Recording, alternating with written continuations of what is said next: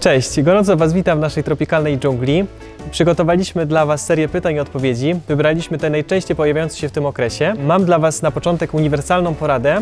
E, Jeżeli mamy e, jakiś problem uprawowy, najpierw zastanówmy się, e, gdzie ta roślina rośnie w naturze, jakie ma tam, jakie ma tam warunki, czy to ma dużo słońca, czy niedużo, jak często tam pada deszcz. Zastanówmy się po prostu, jak ona faktycznie żyje i czy my im zapewniamy te warunki w domu. I to jest taki e, uniwersalna porada, która zawsze pomaga nam przy rozpatrywaniu jakichś problemów. A teraz przejdźmy do pytań. Najczęściej dzieje się to po zmianie jego miejsca, ponieważ e, fikus, kiedy rośnie, tw- tworzy te liście w taki sposób, żeby były idealnie ustawione w stosunku do światła.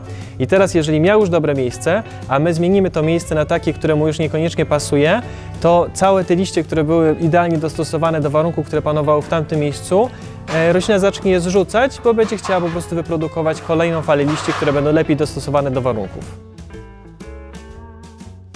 Po zakupie rośliny warto, zmienić, e, warto jej zmienić podłoże. E, Mamy na to dwa argumenty. Pierwszym jest taki, że e, podłoże, które jest używane, jest dostosowane przede wszystkim do warunków e, panujących na produkcji, czyli jest takie, żeby było idealne w szklarni, a już w warunkach domowych może nie do końca roślinie pasować, może za wolno na przykład oddawać wilgoć i przez to mieć, dusić roślinę troszeczkę. A drugim argumentem jest to, że po prostu jeżeli przesadzimy roślinę, to będziemy mogli przyjrzeć się jej korzeniom i zobaczyć, czy nie ma tam jakichś problemów, bo większość chorób zaczyna się właśnie od korzenia, więc wtedy faktycznie się upewniamy, że mamy zdrową roślinę. Nie powinniśmy zraszać roślin, które pochodzą z suchych środowisk. E, najczęściej poznałem po tym, że są sukulentami albo kaktusami, potrafią w jakiś sposób gromadzić wodę, albo mają bardzo gęsto włosienie, które też jakby pomaga e, roślinie radzić sobie z gospodarką wodną, ale nie jest przystosowane konkretnie do zraszania, do radzenia sobie z takim, z takim regularnym zraszaniem. Rośliny w okresie jesienno-zimowym mają spowolniony, spowolniony wzrost, więc nie, nie mają takiego zapotrzebowania przede wszystkim na azot. Więc jeżeli stosujemy jakiekolwiek nawozy, powinniśmy zmniejszać ich e, dawkowanie i też unikać stosowania nawozów bogatych w azot, ponieważ azot jest właśnie tym czynnikiem, który stymuluje do wzrostu, a one podczas e, okresu jesienno-zimowego tego nie chcą. Więc dopiero z nawożeniem e, azotowym, z normalnym nawożeniem powinniśmy wrócić w okolicach lutego. E, Storczyki w naturze występują e, jako epifity, występują w koronach drzew, rosną po prostu na korze drzew. To nie oznacza, że są pasożytami, po prostu to jest ich środowisko życia. Dlatego one nie lubią stać w wodzie, więc najczęstszym błędem, który się pojawia przy podlewaniu storczyków jest to, że ta doniczka tak naprawdę jest zanurzona w wodzie. Powinniśmy za wszelką cenę tego unikać.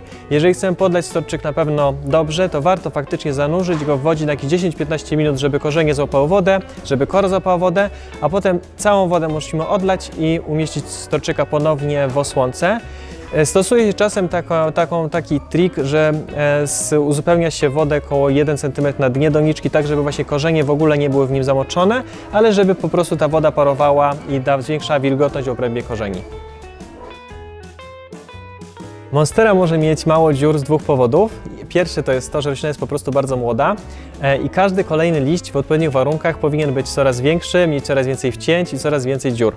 Drugi scenariusz jest taki, że mamy już roślinę, która ładnie rosła, ale nagle zaczęła wypuszczać liście coraz mniejsze, z mniejszą ilością wcięć, mniejszą ilością dziur.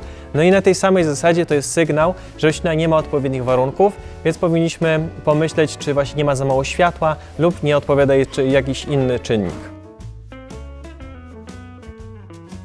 Podłoże po insekcji rzeczywiście potrafi bardzo szybko przesychać, więc przed każdym podlaniem musimy upewnić się, czy wierzchnia warstwa podłoża faktycznie wyschła E, i możemy podlewać po insekcji nawet 2-3 razy w tygodniu, pamiętając o tym, żeby nie podlewać jej, kiedy to wierzchnia warstwa podłoża jest dalej mokra. Najpierw musimy zapoznać się ze składem podłoża. Jeżeli w podłożu występują składniki odżywcze, to nie, nie, jest, nie ma takiej konieczności, żeby od razu nawozić, a jeżeli tych składników nie ma, to rzeczywiście jest to wskazane.